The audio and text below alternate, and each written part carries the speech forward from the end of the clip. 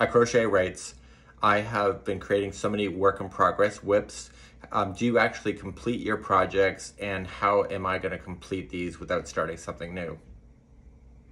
Um, don't look for anything else and complete what's on your plate. Speaking personally for me, I have more euphoria and excitement in finishing a project than I do pattern surfing. So maybe for you, um, you can change your mindset to actually finish something to give you the joy versus pattern surfing, trying to find something to find more joy. So maybe switch your thinking. I don't know. Anybody else have advice? Let's do more together. Subscribe for free.